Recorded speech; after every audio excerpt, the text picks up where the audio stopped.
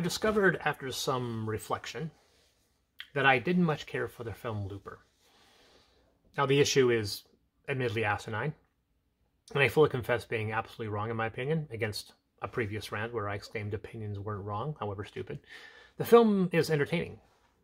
I know I just said it wasn't very good, but it is. And not. Damn it. It's a good script. The problem is that it's it's marred with logical glitches I can't forgive. Though everyone else should and probably will, so yeah, go see Looper. Unless you're me. Stories involving time travel, though often fun, keep breaking my suspension of disbelief not in the development or mechanics of time travel technology, but rather in the inevitable paradoxes which frequently occur.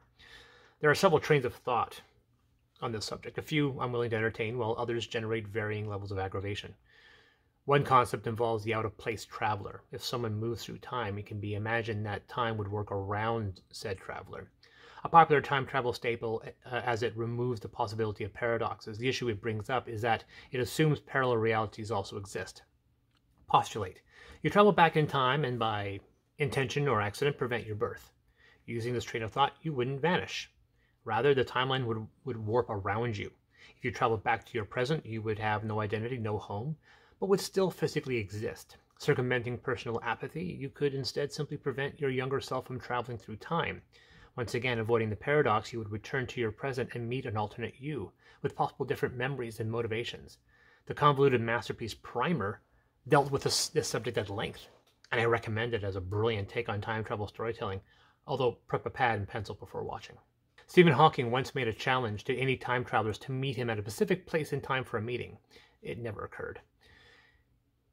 If you apply the parallel element, it's entirely possible that our time stream has no interference from time travelers despite being the source of the travelers in the first place. If your time machine was rooted at your point of origin, then by returning, you would be pulled into your original time stream and nothing would appear to change.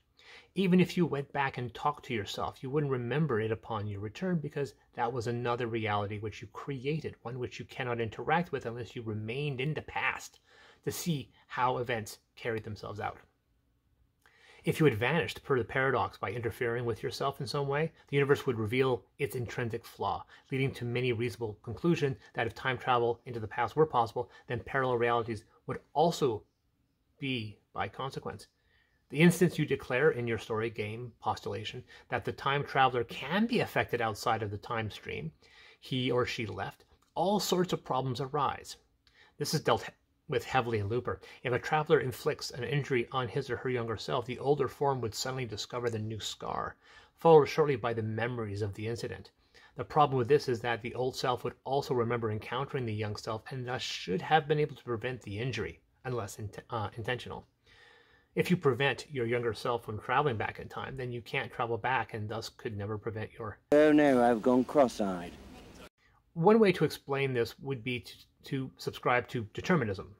There's only one time stream and everything is predetermined and unavoidable. The universe is fixed, beginning to end, and as a result, if you could travel back in time, you'd already have memories of that encounter and would still carry out the actions you remembered, even if actively trying to change them. Most films involving determinism don't include time travelers uh, as much as premonitions, with the only good one coming to mind being Alex Proyas's Knowing. The problem with solving a time travel crisis involving uh, travelers being susceptible to the changes they inflict is that the moment you prevent the traveler from moving through time in the first place, you create a paradox where the story never existed. It is entirely possible that whatever mechanic you introduce in your story, game, postulation could include failsafes to allow you to do whatever you want. Perhaps the damage the traveler inflicts in the timeline, which doubles back and affects him or, him or her as well, is isolated from the effects the traveler has on those around.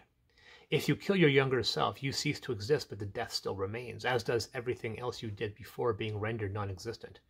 I don't personally like this explanation because it honestly feels a little arbitrary. These arbitrary decisions play heavily in Looper as the rules regarding time travel remain relatively inexplicable, leaving a viewer to accept the just cause justification. Oddly, this is not my biggest issue involving Looper. I'm more bothered by the basic setup, which postulates that when time travel is discovered and quickly outlawed, those breaking the rules by using the technology will do nothing useful with it. The trailer explains that criminal syndicates send back people they want disposed of because of the difficulty in doing so in the future. Beyond the fact that this makes little sense, I kept wondering why They don't send victims back a trillion years and into a pool of lava.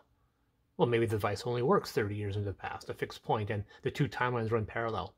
Evidence in the film can lead one to that conclusion, but then why not do something useful, like invest, which was the logical basis of Primer. The two main characters get rich from simply going back a single day. But in Looper, time travel is employed so irrationally you have to accept it. It only as a device used strictly to justify the premise. Like the writer had an idea and made provisions and excuses for it to occur, even running counter to logic. The result is an entertaining character study where two identical versions of the same person interact with vastly different and equally flawed moral outlooks. That's praise.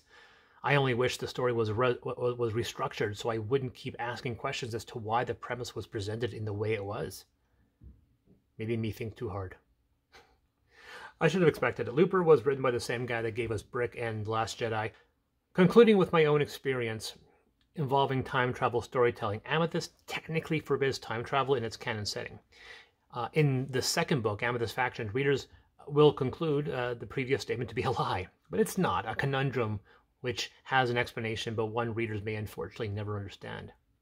Officially, although I don't dislike time travel stories, I prefer those where the past moves into the future rather than vice versa, though this format is rare in cinema. Inserting time travel in a game is risky, and about the only time I ever included it as a mechanic was as a ritual for Goodman Games. Uh, it was a book called A Book of Rituals. And as a denouement, I thought the telekinetic element in Looper was inapt, and one of the key plot elements of the story smelled too much like the Terminator. So that's my final word on that. Anyway, guys, this is Chris from Dias Ex Machina. Like and subscribe, and I'll talk to you guys later.